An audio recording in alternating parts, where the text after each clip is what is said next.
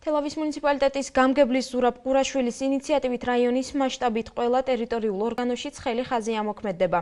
პროექტის მიზანია მოსახლეობასთან კომუნიკაციის გაუმჯობესება და პრობლემების სწრაფად და ეფექტურად გადაჭრა. ამ დროისათვის ცხელი ხაზი უკვე მუშაობს ქალაქ თელავის 4-ვე ტერიტორიულ ორგანოში. ამ მსახურებით სარგებლობა ქალაქის მოსახლეობას ყოველ სამუშაო დღეს 10-დან 18 საათამდე შეუძლია. უახლოეს მომავალში ცხელი ხაზი თელავის მუნიციპალიტეტის სოფლებშიც ამოქმედება.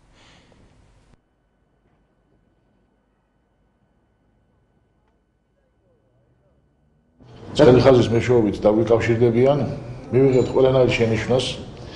ეს შეეხება როგორც თქვა წყალმომარაგებას, გაზმომარაგებას, ასევე დასუფთავებას. ძალიან ბევრი მოხუცი და პენსიონერი ყავს, ვისაც არ შეუძლია მუნიციპალიტეტის ტერიტორიულ ორგანოში მიბრძანება ან გამგეობის შენობაში მობრძანება და ამიტომ მივეცით საშუალება ამ ხალხს, რომ ჭიდრო ურთიერთობა ქონოდა ჩვენთან. მოსახლეობა შეიძლება დარეგოს ჩვენთან შემოგთავაზოს თავისი იდეები, აზრები თუ როგორ შეიძლება განვითარდეს ესა თუ ის ტერიტორიული ორგანო. მინდა გითხრათ, რომ უკვე დღეს აი პირველი დღეა და ზარები უკვე შემოვიდა ჩვენს ტელეფონებზე და აი ამ ინფორმაციის შეკრება ხდება, ხოლო შემდეგ მუნიციპალიტეტის გამგებელთან მიდის აი ამ საკითხების განხილვა.